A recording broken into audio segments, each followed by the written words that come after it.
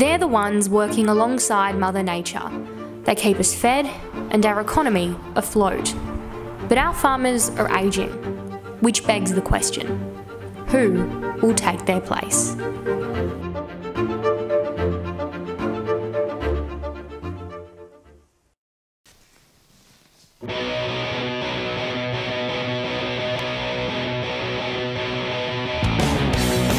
When it comes to consumer convenience, Woolies and Coles take the crown.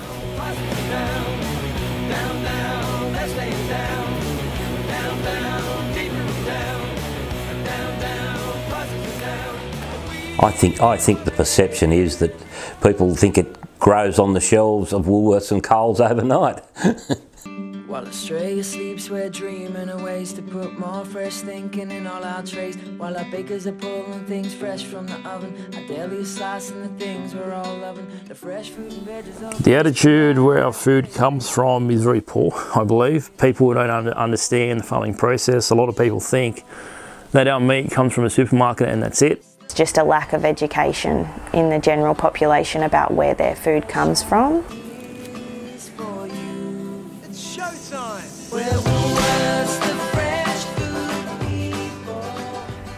People fundamentally understand that food comes from farms, but I don't think they understand like the process that food goes through.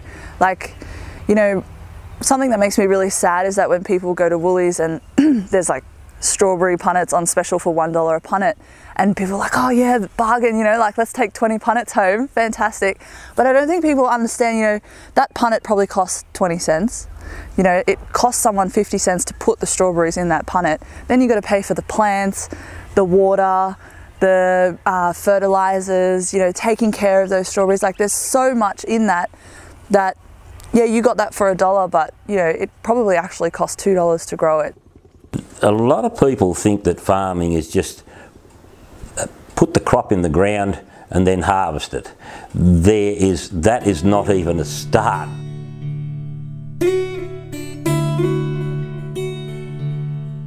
Philip Ram is a fourth generation farmer from Maroota and has been working the land since the age of 15. Here at his property northwest of Sydney, there is an abundant supply of citrus and stone fruit, alongside a few crops of tomatoes in the off season. But, but for the farmers markets, they want them like that. At 70, Philip runs this farm with the help of his brother John. But with no successes, the farming dynasty will unfortunately end with them. Even if they did, Philip says, it's a hard life that few would want to sign up to. The younger generation have seen mum and dad bash their head against the wall to try and look after their family and keep going and, and, and they really don't get the recognition for it that, that, that, that they deserve. I mean, my mother sacrificed tremendous amounts. I mean, when when her and my dad first got married, they lived in a shed, you know, and only a very small one. And she used to wash by hand and do everything. And they battled for many years. And that was in days when things were easier. It, it's harder now. I would not like to be a young person trying to start a farm now. The only way that farming could survive is through the really through the family farming system because basically you're carrying on on, on top of someone else's work. The latest survey data from the Australian Bureau of Statistics found that the average farmer is almost 60 years old. It puts a spotlight on the number of young people entering the agricultural space. I caught up with a few farmers, all under the age of 35, from across New South Wales. Most of them say that the path ahead is bright, but not without its challenges. All of them say that without the family farming system or generations passing on the land, the financial barriers for youngsters daring to give the farm a go are far too high.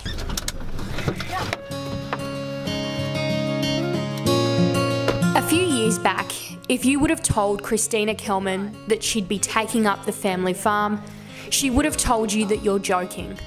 But the 27 year old has done just that, swapping her corporate career for life on the land. So I've got to clean up that section down here.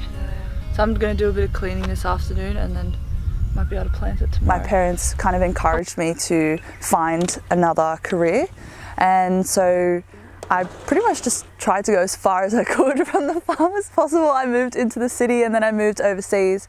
Um, but it wasn't until the farm started to actually grow um, that my parents, now that my dad's 80 and my, uh, my mum's almost 65, uh, they sort of were like, look, if, if this is something you want to do, now's the chance to jump back in. And I thought of it as a really, really great opportunity. I've always loved being on the farm. Um, but also, it's very, very difficult for young people to get into agriculture if they don't come from a family background. It's very, very difficult, and I thought that this was a, a once in a lifetime opportunity for me. Christina is one of seven, but she's the only one to return to the farm out of her siblings.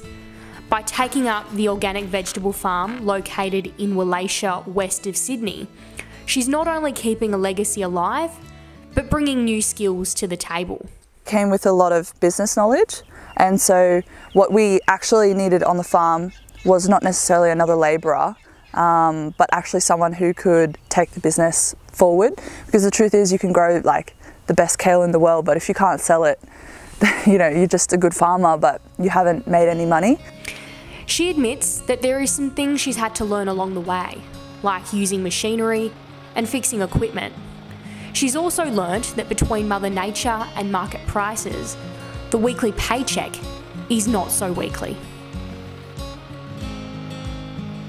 People can idealise the farm life and you know they, they look at the big open space and they see all these veggies and they're like oh must be great like you know it's not always going to be like that. There's going to be times where um, you have to do everything yourself. There's going to be times where you can't pay the bills. There's going to be times where um, yeah, like you just, it's not as ideal as you think it is. And I think, and I'm not discouraging people to go into it, but I think if you want to go into it, go work for someone who's doing it, actually do the work, and then spend a couple of years in it, and then think if it's something that you want to do for the rest of your life. Because there's a very big difference between working for someone and getting a weekly paycheck for it versus you work for yourself and you have to somehow, you know, make this business work.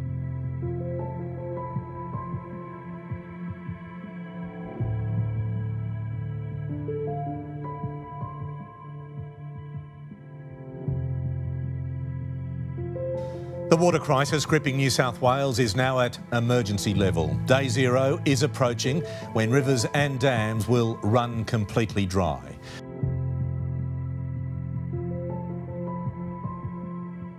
Even for a country like ours, well familiar with drought, the dry spell right now in Queensland and New South Wales is one of the worst in our history.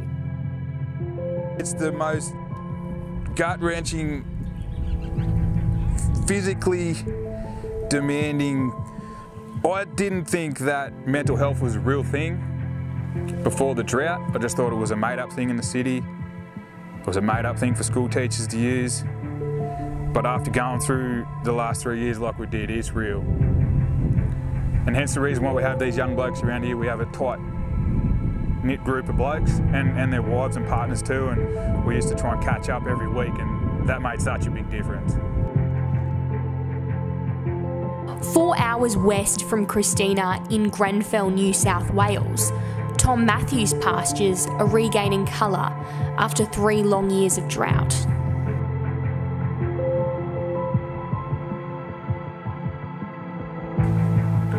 Mother Nature's a bitch. And there's no easy way to describe it than that's it.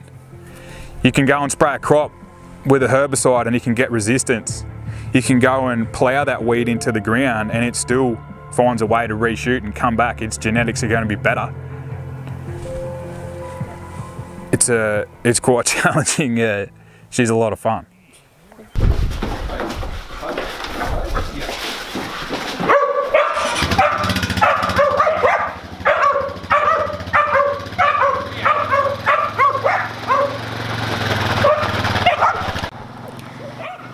Up the family livestock and cropping farm was always going to be on the cards for Tom.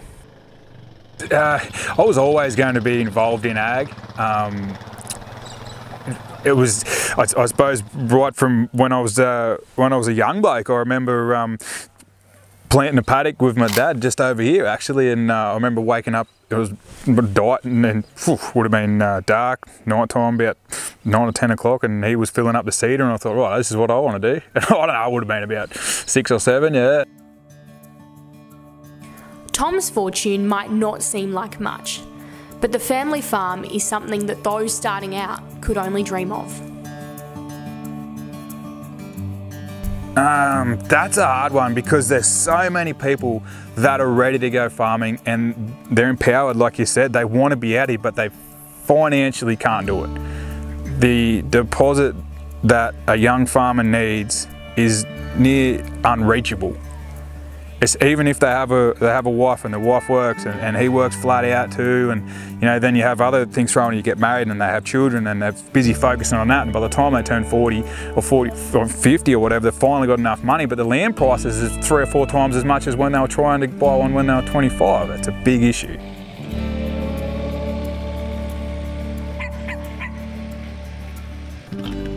But in Canowindra, less than an hour drive from Tom, is a young farmer who seemingly conquered the impossible buying farmland.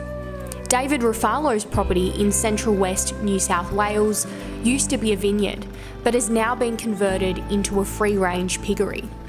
The bricklayer turned farmer comes from a farming family almost five generations deep.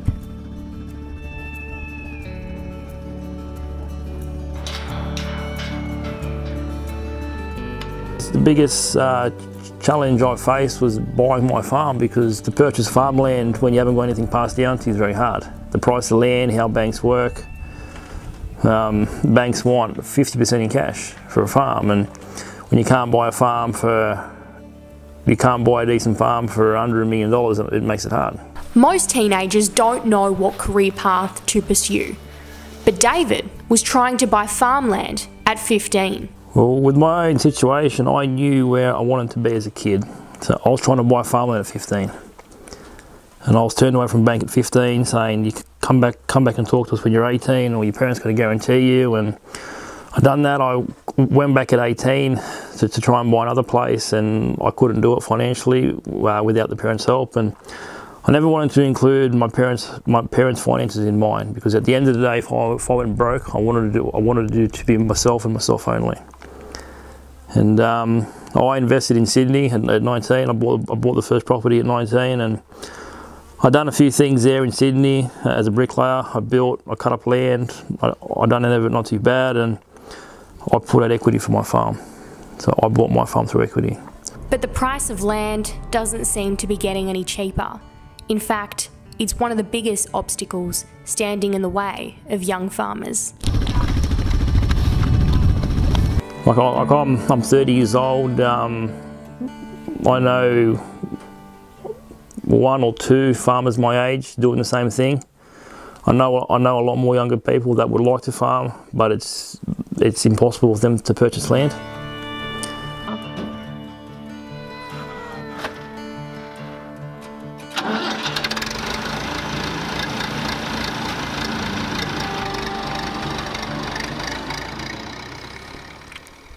For David, securing farmland was no easy feat.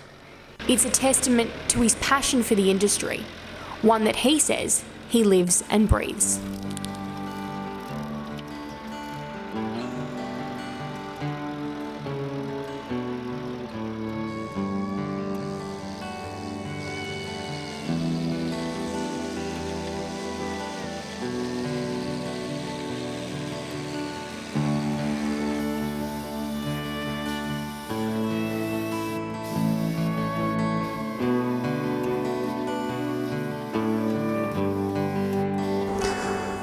Probably the perceptions uh, the general public think about farmers that we're backwards, that we're stupid, when it's in incredibly wrong. Um, a farmer is one of the smartest, one of the smartest people you can meet. They almost do everything on their own, from their accountant to a mechanic to a vet to, to everything. they're dirty, they're dumb, they're old, and they don't know what's going on in the world. They're simple.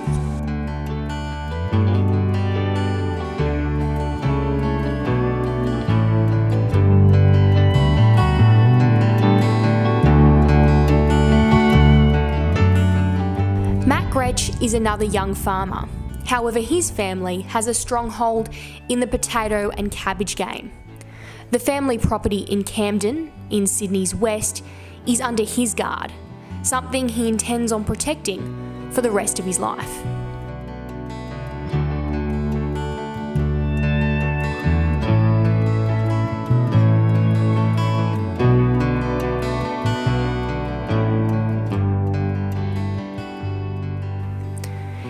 Digital age, all things are moving forward. For Matt, this includes the farm. He's been a keen adopter of technology, from GPS tractors to a live monitoring app.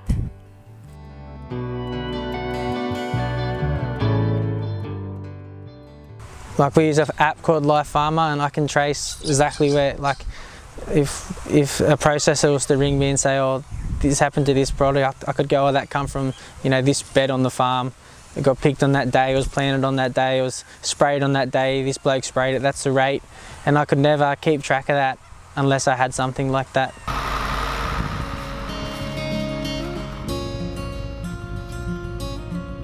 While it might be a while before technology picks the cabbages for him, Matt says that he's looking forward to a future where robotics and artificial intelligence work to make the farm not only efficient but sustainable. We're in a really unique position in Australian agriculture. Um, we're tech savvy, we have an abundance of arable land, um, we have some huge expanding markets on our doorstep. Jamie Lee Oldfield is passionate about the next generation of Australian farmers, heading the Future Farmers Network, an organisation dedicated to connecting young people with agriculture. She says that farmers have always embraced the need to improve on their techniques. It probably sounds like a bit of a cliche, but being a farmer is, you know, not that far removed from being a scientist a lot of the time. So a lot of people are naturally, a lot of farmers are just naturally inclined to wanting to learn new things, investigate how things grow better, um, whatever that may be, and are excited to find ways to improve. The former journalist currently lives and works on a commercial beef and cattle operation in Coolac, located in southern New South Wales. The tree change felt natural for Jamie as she grew up on a family cattle station back in South Australia. Jamie says that the path ahead won't be without its teething problems, but all in all, Australian agriculture has a bright future. Um, that'll keep improving and you know we'll, we'll probably take a few steps forward and maybe one step back as we go along but um, yeah I think there's there's some amazing technology out there these days that's going to make um, that has just changed the face of agriculture in the last 20 years and you know it'll be amazingly different again in another 20 years. when you do anything aside from, you know, maybe being a healthcare worker or something like that, um, it, you know, you'll quite often say, oh, well, you know, it doesn't matter, we're not, we're not saving lives. Um, which I think is something, you know, to manage your stress levels, it is good to remember that in day-to-day -day little practices that you're doing, but as a whole, um, being a farmer, we're, we are saving lives.